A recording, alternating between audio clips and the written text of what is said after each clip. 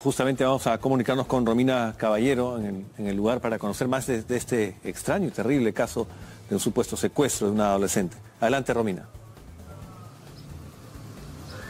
¿Cómo estás, Federico? Verónica, buenos días. Bueno, yo me encuentro acompañado de ambos padres de esta adolescente de 12 años, la señora Mercedes y el señor Johnny, quien muy amablemente nos han recibido. Además, ellos fueron quienes se comunicaron con nosotros a través del WhatsApp de América Televisión, luego de poner la denuncia, porque la denuncia fue puesta en la comisaría de Caraballo.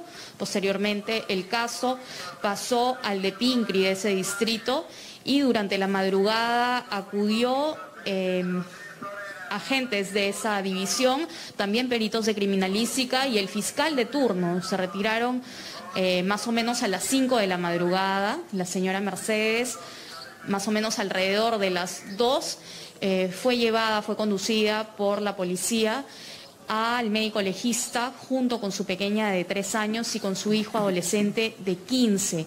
Principal además testigo de lo que ocurrió la tarde de ayer. Bueno, ella ya ha, llegado y está bastante afectada por lo que ha ocurrido. Incluso nos decía que tenía muchísimo miedo de estar en su casa. Señora Mercedes, buenos días. Sé que es una situación bastante difícil. Usted ya se entrevistó con la policía. ¿La policía tiene alguna hipótesis de lo que ha pasado, porque aparentemente las personas que han venido a su casa conocían a su familia y conocían a su hija, ¿no? Y se la han querido llevar específicamente a ella. Sí, señorita, así es, exactamente. Querían, varias veces venían a, les encontraba acá y corrían. Entonces sabe quiénes son. Yo no sé, señorita, pero yo les miraba así, nunca les he visto a ellos. Última vez les he visto, pues como te he contado. De ahí no les he vuelto a ver ni más. Eh, ¿Quiénes serían estas personas y qué relación guardarían con su hija? Este, la chica se llama Ana Belén. Ella debe saber todo, todo sabe ella. Por eso yo pido justicia. Mi hija tiene que parecer sí o sí. Y a eso es lo que me ha dicho.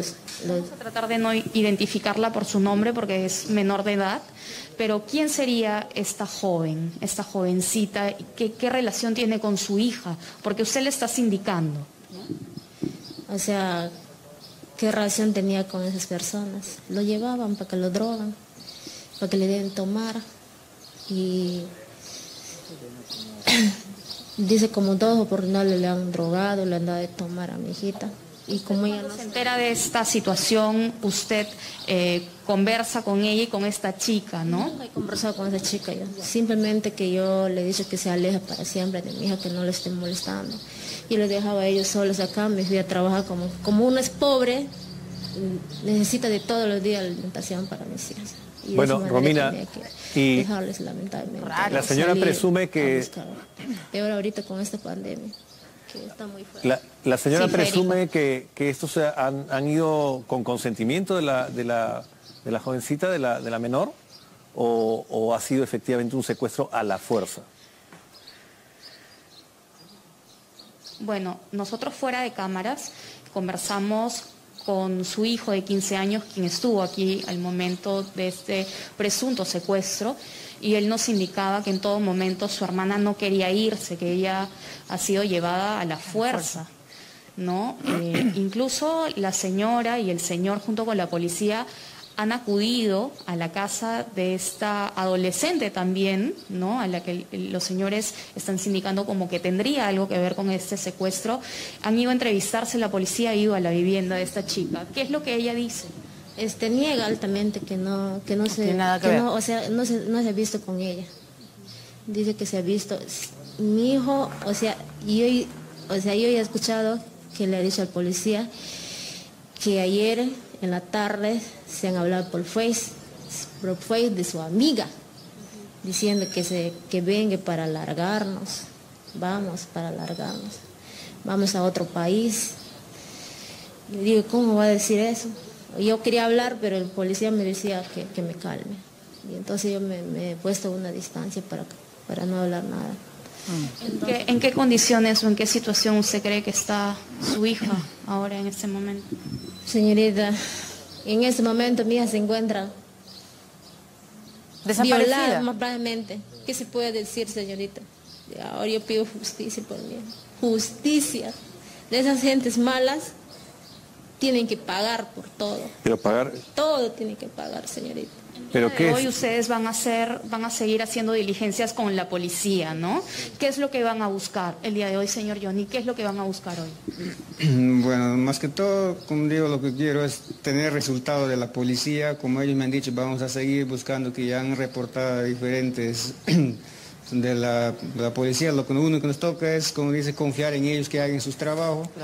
Y poner la voluntad de Dios, espero que mi hija esté bien, espero que, no le, yo, bueno, tenga esa fe, esa esperanza que le pueda volver a ver, porque esa, esa, esa esperanza me han dado los policías también, que sí, tu hija, sí lo vamos a encontrar. Espero que de verdad sería así, ¿no? ¿Quién, ¿Quién, no me gustaría a mí, yo como padre, tener a mi lado a mi hija? Pero entonces Nosotros también hemos publicado una fotografía de ella con el consentimiento de, de, los padres, lógicamente. Ellos persisten en ese consentimiento, acá tenemos la foto justamente con la finalidad de, de, encontrarla, ¿no? De, que nos informen si alguien la ha visto. Esa fotografía que usted nos envió, señor Johnny, así es como luce su hija actualmente. Sí, es ahorita la actual. La que te he mandado al WhatsApp, creo que eso es la eso es lo que luce actualmente ahorita. no saben nada, sí. Eh, pero parece una chica un poco mayor, ¿no? Romina, y no saben nada de ella entonces. 12 años cumplidos tiene mi hija. Recién, El 10 de abril. Nadie se ha comunicado con ustedes. Desde ayer. Eh, hasta ahora nada, no ha recibido ninguna llamada. Más o menos a las dos horas que mi hija se fue, todavía el celular seguía timbrando el celular que supuestamente le han llevado los, los agresores. Y en el mensaje me escriben diciendo, Dalila se huyó. Y entonces yo, leyendo ese mensaje, que pues yo venía de, camino de la chamba, viendo ese mensaje, entonces me había quedado de sorpresa. Entonces en ese momento yo al toque le llamo a ese número. Y donde que me contesta, supuestamente yo pensaba que era mi hijo que me está contestando, pero total, mi hija ya estaba, allá, ¿dónde será que estaba? En otro lado. Me contesta, entonces yo le pregunto, este, hijo, ¿cómo están tus hermanitos? ¿Están bien? ¿Ya, ya les ha hecho su cena, sus comidas?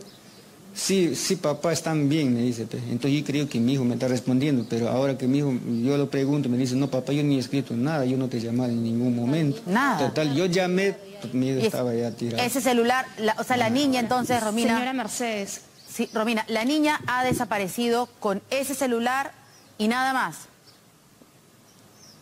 Ropa, nada con ese celular y también nos contaba eh, la señora que estos delincuentes cuando han ingresado también se han llevado ropa de ella, ¿no? Sí. Ropa, zapatillas, se han llevado prendas, me han llevado plata también que tenía ahí, estaba juntando mi platita para Navidad para comprarles algo a ellos para su Navidad. Todo, todos, todo, todo un desastre. ¿Pero está escondida la plata? Ya entendemos por qué también la policía se ha demorado bastantes horas, ¿no? Se ha demorado aproximadamente unas cinco horas en hacer todas las pesquisas dentro pues. de la casa. Nosotros vimos cuando Criminalística estaba afuera alumbrando con una linterna y sacando huellas, porque han dejado huellas, ¿no? Sí, han dejado huellas de zapatos, manos y un escrito así con un papel. Increíble. No Muy bien. se metan conmigo con Chasumares. ¿Quién, ha dejado eso? Los delincuentes. ¿En dónde? Escrito con un cuchillo, sí, en una hoja bon con un cuchillo encima. Pero así ya tenemos... este, dos palitos. la policía. No, no entiendo. Hay bastante información, definitivamente la policía tiene un gran trabajo para determinar eh, qué es lo que ha sucedido. Lo cierto y el hecho concreto es que esta menor está desaparecida, hay una denuncia, el fiscal está a cargo también. Y hoy se van a seguir haciendo las diligencias. En torno a este caso, se van a solicitar las cámaras de seguridad de la vivienda contigua. Y esperemos tener noticias de esta pequeña. Muy bien, Romina, muchas gracias por la información, da nuestro aliento a los, a los padres y esperamos también el resultado de la investigación policial. Ahí tenemos la, foto de la jovencita para, para que nos ayuden a, a ubicarla y que no se metan en más problemas estos delincuentes. Siete con trece minutos.